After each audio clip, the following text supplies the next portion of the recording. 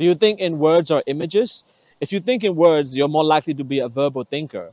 So verbal thinkers tend to be more left brain dominant, as well as they enjoy stories and they enjoy expressing themselves quite eloquently. And they tend to choose jobs where language is more dominant. Uh, if you are, if you think in images, you're more likely to be object visualizers. Object visualizers are more right brain dominant, and they tend to uh, see many images at once in their mind's eye. They also enjoy creating and making things in an artistic way.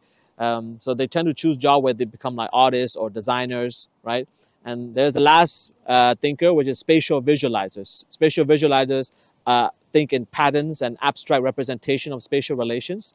They also tend to be mathematically gifted. So they also, uh, so they choose jobs where they could become engineers uh, and scientists. So make sure that you understand that there are other people who think differently to you. Uh, so it's, it's important.